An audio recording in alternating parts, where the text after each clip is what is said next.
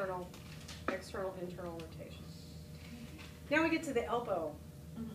How exciting is that? It only does two things, flexion, extension. Yay!